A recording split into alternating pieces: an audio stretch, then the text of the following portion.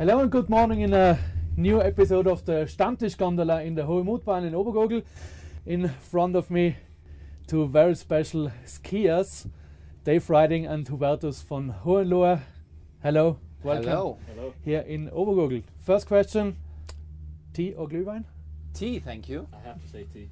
you have to say tea. We're, Take, we're both Brit- take, take we're whatever you both like. r- British. No, I'm not. I'm Mexican. but no Glühwein in Mexico, I guess. Are you sure? I think so.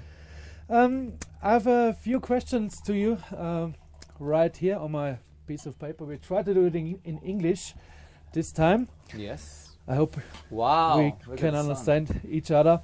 Um, both of you are multiple times have been multiple times at the Olympic Winter Games. Yeah. Where to six times, and Dave, you have been there two time two times. We will see you both in in the Olympic Games in South Korea.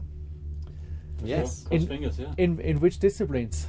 I will By stick the way, to, uh, cookies, please. I will stick to my discipline of slalom. I don't think I venture into Yeah. downhill. I have a pact with my girlfriend and my mother that I also am only allowed to go slalom. Although I get also crashes and, and injury in slalom, but I still it's maybe the the the, the less speedier. So it's gonna be slalom also, which at my age and in my uh, kind of constitution is more difficult, but it's challenging. Super.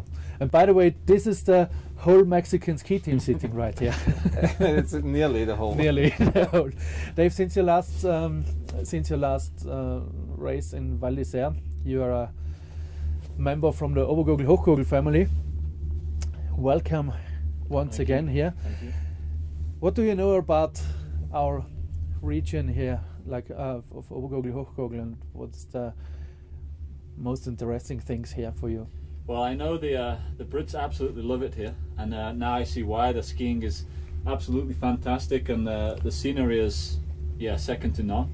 So uh, yeah, I, I love the the mountains.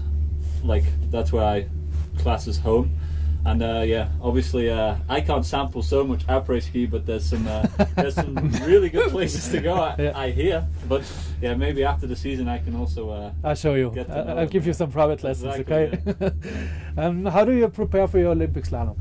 Um, how does your training look like? Yeah, I mean, uh, right now it's focused on the World Cup, and uh, I have to try and get my World Cup season good, and then that'll give me confidence for the Olympics. So, uh, yeah, it's building towards that. But first things first, January is very busy, especially. So uh, I have to get through that month and then focus on the Olympics. Good luck f- from from my side. Thank you. Um, you, you you started skiing very very late, Yeah. and in the age of 12 on a dry slope on a plastic mat. yeah. Could yeah. you um, could you could you tell us how how was the way to get into a World Cup race from from a plastic mat yeah. to Yeah, the second place in Kitzbühel? It's not normal, but um, yeah, it's just uh, every year I I enjoyed it and I kept putting in the work. I never thought, yeah, I'm never gonna make it, or I never thought I'm definitely gonna make it. I just kept coming back every summer, working, and uh, yeah, I guess that's why it took me longer because I started later. So uh, you have to learn the skills, and uh, yeah, you have to give yourself time. So uh, I did that, and then I proved I, I could do it. Super.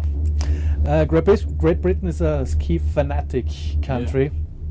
Yeah. Here in Obergurgl, it's the second important market, market after Germany. Yeah. Do you know why British people are so interested in winter sports and skiing? Yeah. Why do they like the winter in the mountains? There's millions of Brits go skiing uh, every winter, so um, uh, I guess they love it because of where it is, the snow. It's fun, Yeah. and um, yeah, they can party as well as as ski. So Oh yes. the Brits know how to party, and yeah, Oh yes. combine them both. And uh, yeah, we don't have so much snow in in Britain, so when Yeah. they go away, it's it's nice for everyone. And yeah, A question to both of you. Do you have a special tip for our ski guys from members of the Olympic Games? What, what, what could be very special tips, for example, for a ski beginner from real professionals? What do you have an idea? What would you say to a beginner?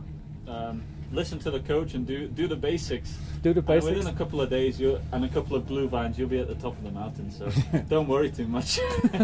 I think so too. I think um, uh, you know it's it's it's a game, it's a play, and you have to play it and you have to enjoy it, and you don't have to think too much. You have to kind of feel the body and, and feel what you can do, and suddenly step by step you're going to get better but if you get kind of too cramped up then you're not going to enjoy it and every time you crash you have a negative thought so it's about positive thoughts enjoy the beautiful mountain and laugh about it you know Yeah. and get get into it by playing And he's older man than my dad, so it's never too late. So Yes. all these people that say, "Oh, we're too old," you're never too old. That, that, that's right. Hubertus, Yeah. you started skiing um, in in, a, in in an age where already haven't been born. Yeah. no I, I, I skied my first olympics when he wasn't born i think when, Yeah. when did you when were you born 86.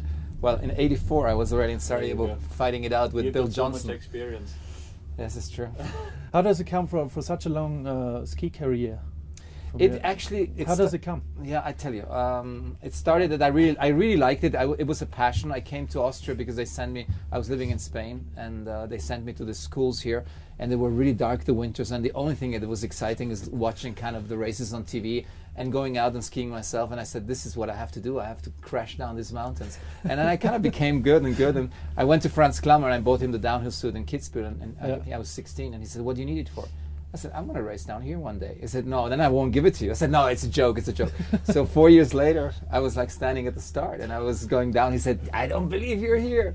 And then um, as years went by, I kind of wanted to stop. But you know, the FIS always did rules against the small nations so that they were not allowed to go, they were not allowed to be in the World Cup and all this. So I said, I have to stand for the small nations and kind of do everything that, you know, give them still some kind of exposure and some glamour and say that it's important that you have a lot of different nations racing. And this is why I'm uh, especially happy if somebody like, um, like Dave or like Alain Baxter that did it before uh, skis for a, a country that is non so ski is pro- professional and does well. So it's, I think it's very important, and I know how how the, they can be so short-sighted and not see that it's important that everybody loves and tries out skiing. You know.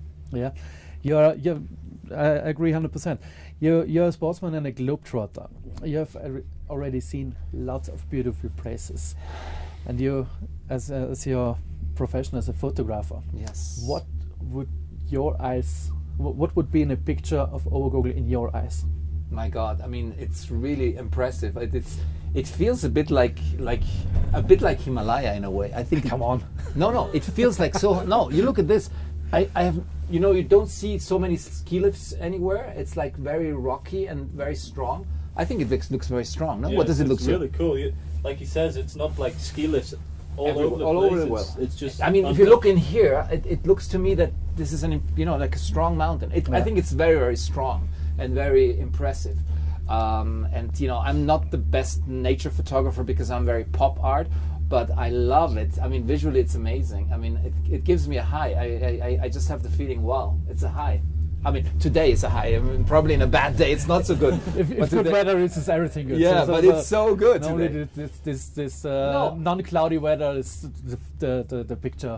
I think you know nature has such power and grounds you, and you know for me that travels a lot and does music and TV shows and all this, it's all kind of a bit superficial. It's a bit fake.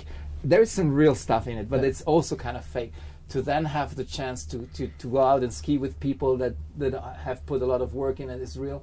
That I think grounds me as a person, and I think I haven't I haven't kind of left uh, uh, our planet Earth yet because I have skiing in my life. That's important, yeah. Can you imagine to, ma- to make an exhibition uh, right here up in the mountains?